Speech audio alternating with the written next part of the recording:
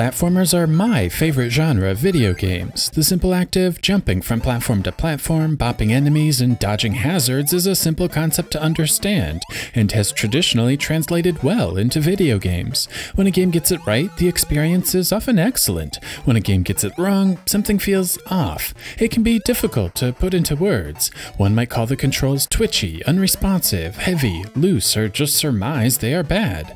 When playing the 8 bit version of Sonic the Hedgehog, I can't help but feel like something is off with the jumping. There is a preciseness missing. Landing on small platforms doesn't feel correct. Sonic's momentum in midair is twitchy, and players might find Sonic doesn't have the agility one might be expecting. I think the problem is the acceleration while in the air. When jumping, Sonic can quickly gain a ton of speed. The acceleration is quite brisk. Unfortunately, this brisk acceleration does not allow for precision. This makes landing on some platforms an awkward experience as players try to correct for this quirk. This is most visible in the very first stage. There is a ramp which launches Sonic into the air, and Sonic keeps accelerating far beyond the speed of the camera. In fact, the acceleration in the air far exceeds that of Sonic rolling down a hill, which I find curious. That isn't to say the controls are bad. After a while, I found myself adjusting to the unique physics, delicately stopping Sonic midair and using the quick jumping acceleration to get through the stages faster. However, the controls lack the preciseness of some other 8-bit platformers, like the Donkey Kong Land games, for example. Sonic the Hedgehog has other physics oddities as well. Sonic reacts strangely on certain angles or slopes. This makes the second boss encounter with Eggman extremely easy. Sonic's momentum will allow him to rock back and forth, easily inflicting multiple hits to Eggman without fear of Sonic stopping, returning to a standing position, and taking damage himself. It feels somewhat thoughtless, like playtesters should have noticed something was amiss and the programmer should have tweaked some values to prevent such abuse. But alas, this was not the case. In fact, all of the bosses in the game are easy. The first boss can be hit 8 times and be defeated before Eggman ever launches an offensive attack. A skilled player can also get in 8 hits on the third Eggman encounter while only dodging a single attack. The damage exchange is most definitely in the player's favor here. This odd damage exchange continues with the fourth boss. A player will only need to dodge two attacks while dishing out eight of their own, although one could argue at least the difficulty is progressing. The final encounter at least offers up a semblance of challenge. Unfortunately, the projectile from the ceiling can be cheesed by staying on a safe point on the left side of the screen. The second attack is challenging because the hit detection is poor. Sonic can take damage while being a considerable distance from the flame attack. Still, with some practice and positional awareness, this final boss does not test the player's skill or dexterity. It is just a slow plodding fight, waiting for the right moments to strike. Speaking of slow and plodding, the most infamous stage found in the 8-bit version of Sonic the Hedgehog is definitely Labyrinth Zone. Not only does Sonic move slowly underwater, but the game is almost in a perpetual state of slowdown, reducing the game speed even farther. Never in my life has a 5 second countdown moved at such a glacial pace. You know what else is weird? When nearing the conclusion of most stages, Sonic changes colors. The game briefly freezes, a new color palette is loaded, and Sonic's blue shade is lightened. It is incredibly odd, and I can't say I have ever experienced this in a video game, ever. Needless to say, it would be difficult for me to conclude Sonic the Hedgehog on the Game Gear is a great game. The controls are strange, the physics need work, there are odd graphical issues, and the boss design is mostly poor. However, Sonic the Hedgehog is a beloved title, and many even prefer the game over the 16-bit title of the same name. Despite the lack of technical polish, I too found myself enjoying this iteration of Sonic the Hedgehog. What kept me coming back for multiple playthroughs was the variety of the stages. Despite the the occasional high-speed antics, 8-bit Sonic's design philosophy is far more traditional.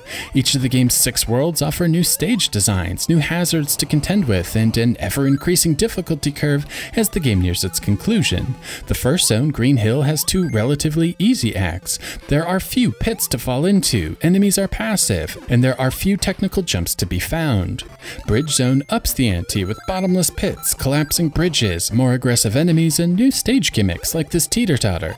The second stage is even an auto-scroller, forcing the player along and limiting the player's time to react to what is ahead. Like I said, the design philosophy here mirrors traditional platformers from the time, with less focus on mastering a deep physics engine to find secrets and shortcuts. Some might find this less than desirable in a quote unquote Sonic game. However, I'm not sure judging a game's quality based on my own arbitrary rule set is fair. Moving along is Jungle Zone. Being the third world, the difficulty continues to progress. There are more bottomless pits to contend with, more spiked hazards to navigate through, and more moving platforms to jump on. The one-off gimmicks continue as well, with this little log Sonic can roll on. The second act offers something new, a completely vertical stage. Sonic starts at the bottom and has to work his way up.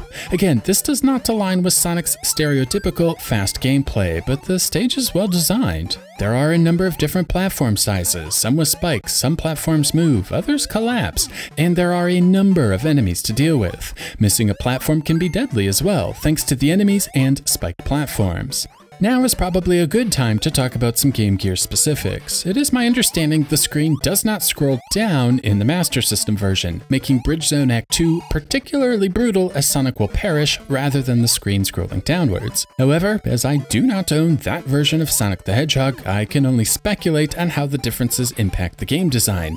There are other differences as well, such as changes to level layouts, graphical effects like these moving flowers in Green Hill, or the fences in Bridge Zone. Other changes are major, like completely redone level layouts and nerfed bosses. Without playing both versions though, I cannot determine which game is superior, so I won't. Another thing to note is the reduced screen resolution. The Game Gear's resolution is less than half that of the Sega Master System. As best as I can tell, the Master System version is the source version and the target platform. Therefore, the Game Gear version could be suspect to the dreaded screen crunch. In fact, if one is more familiar with the Master System version, the footage here probably looks downright claustrophobic. Thankfully, there were few moments where I felt the level design was made for higher specs. There is a leap of faith jump in Bridge Zone Act 1 where the player isn't able to see the platform ahead. Prior to this jump, the game generally had little level markers alerting the player to wait for the platform to appear, but it is missing for some reason. Bridge Zone Act 2 offers another tight area where the player needs to navigate upwards while the screen scrolls. A first time player will probably not have enough time to navigate upwards before the platforms pass, as it isn't immediately obvious where the level path lies. Again, an arrow pointing upwards would offer players a clue with the reduced resolution. Level hazards can occasionally surprise the player as well. In Labyrinth Zone, it can be difficult to anticipate the appearance of the rotating spikes, for example, since most of the rotation occurs off screen. Scrap Brain Act 2 also features projectiles fired from off screen, and the player often doesn't have enough time to react. And that is about it. While playing through Sonic the Hedgehog, I rarely felt like I was playing a game made for a home console rather than a handheld system. The level design and enemy patterns mostly work on the small screen, and the camera generally panned up and down, left and right, always keeping the relevant information in view.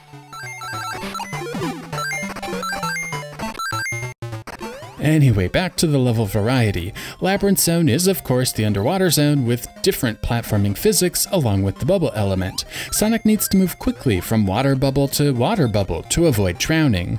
While the molasses pace is less than satisfying, the idea is sound. The player cannot afford to lollygag and needs to make it to the next air source before the timer kicks down.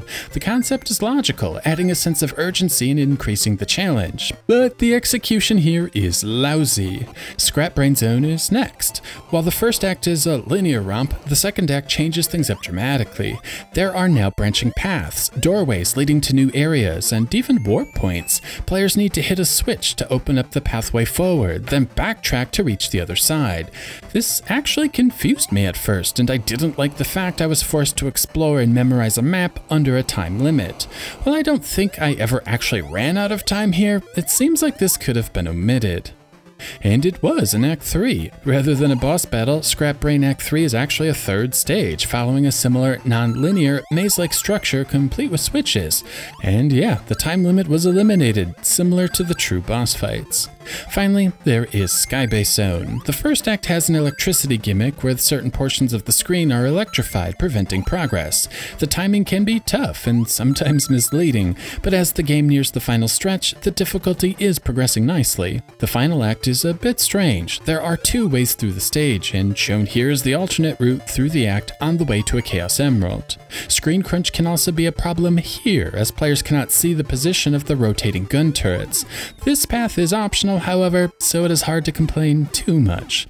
Still, despite my complaints about the jumping controls, physics, and bosses, I do like the level design. The game starts off easy, and the difficulty slowly increases with each passing stage. Bottomless pits become more plentiful, there are more moving platforms, and stage hazards become more aggressive. The skill needed from the player is always increasing, helping keep players engaged. I also really dig the one-off stages, the auto-scrolling of Bridge Zone, the vertical climb in Jungle, the branching paths of Scrap Brain, or the electricity in Skybase. I feel as though Sonic the Hedgehog does an admirable job of keeping the stage design fresh through new mechanics. While the physics-based elements of the 16-bit original are missing, the stage design is still solid. However, I can't help but feel like the game is a little too easy, and even this is a puzzling revelation. First, when Sonic takes damage, he loses rings and has zero opportunity to regain them. This is a fantastic alteration to the formula, as it actually creates a punishment for sloppy play. There are now moments where the player has to play extra cautious, as the cushion of an infinite ring loop has vanished. Boss encounters are the same. There are no rings here. The player has to battle Eggman without taking damage, which is occasionally tricky when initially learning the patterns. To balance this, each boss area does hide an extra life monitor, though they won't reappear after death. However, despite these restrictions, Sonic the Hedgehog is not a difficult game. For one, farming extra lives is easy. There are plenty more extra lives lurking in the levels, and often right out in the open. Second, if one has at least 50 rings when they pass the end post, they'll be whisked away to a special stage. Here, rings are plentiful, allowing one to nab 100 of them, earning an extra life. There are also continues within and more extra life monitors.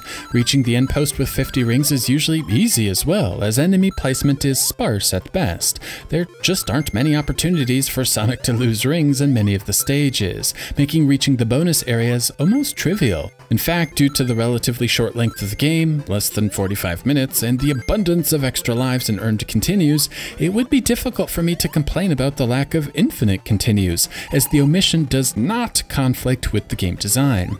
The lack of enemies may be a concession to the game engine, though. Sonic the Hedgehog has some serious slowdown issues. Whenever there are more than just a couple of sprites on the screen, the gameplay chugs along. I've reviewed a number of Master System games over the years, and none of them feature such an inconsistent frame rate. Not only does it look bad, but it affects the controls, as Sonic's momentum and inertia while jumping frequently cuts in half. I certainly cannot comment on the programming, as I have not viewed the source code and wouldn't be able to determine how efficient it is anyway, but Sonic the Hedgehog does not feel like a polished product. Slowdown aside, the sprite and tile work looks nice. Sonic is detailed and well animated and looks great for an 8-bit sprite. Enemies mostly follow suit, although a few are laughably small compared to the rest of the game. Even Eggman looks stunning with his major features captured perfectly on the small screen. Backgrounds are generally detailed and rarely does the player find themselves staring at solid patches of color with little detail. Color swapping techniques are used to create flashing lights in Scrap Brain, lighting effects in Skybase, and cascading waterfalls and Jungle Zone. The art style is terrific. Areas represent real-world locales like rolling hills and flying bases, while still being abstract and imaginative. While no one would mistake this for a Genesis game, the art direction is still distinct and appealing. Even better, the soundtrack is amazing. The composer listed in the credits is Yuzo Koshiro, who composed the music in Streets of Rage. As one would expect from such a name, the compositions in Sonic the Hedgehog are rich, with a depth to the melodies not often present on the platform. Bridge Zone is definitely the standout, with a ridiculously catchy hook that should sound very familiar to fans of pop music.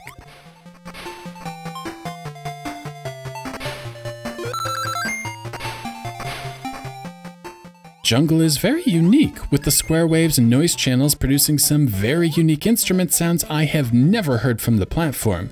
The melody is incredibly upbeat, with a whimsical country twang that never grew tiring with each passing loop.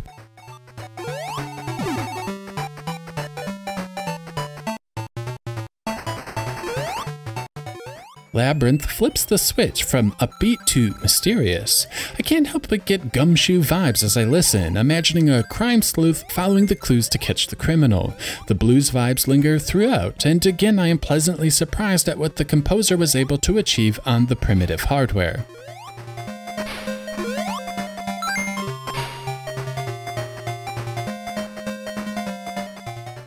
Skybase is also fantastic, exploding with energy. Seriously, the music could easily pass as something from Streets of Rage, or dare I say it, Mega Man. Yeah, I'm not exaggerating here. The complex melody, speeding up, slowing down, layering rock notes over a bed of synth sounds absolutely incredible, and the soundtrack alone is probably worth the price of entry.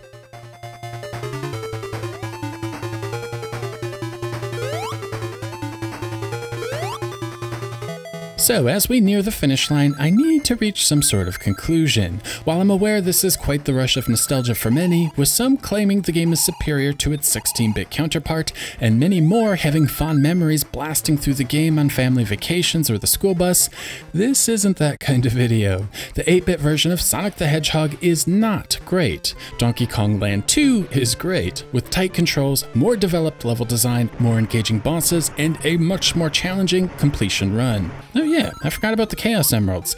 Each zone contains a Chaos Emerald to find. Sometimes these are obvious and hard to miss. Others require a bit of exploring, and the one in Skybase requires a leap of faith onto a floating platform to reach. It is a neat completion bonus, I suppose, but really functions as an ancillary collectible for those who like that sort of thing. More to the point, while Sonic the Hedgehog is mostly inoffensive, other titles with similar hardware restrictions are superior. While I play 8-bit Sonic the Hedgehog, I can't help but be reminded of a certain other Sonic game, Sonic Lost World.